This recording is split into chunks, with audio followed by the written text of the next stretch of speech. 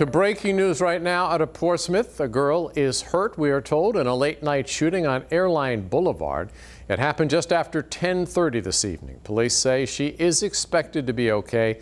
At this hour, no word on any suspects. Look for updates on 13 News Now Daybreak starting at 4:30.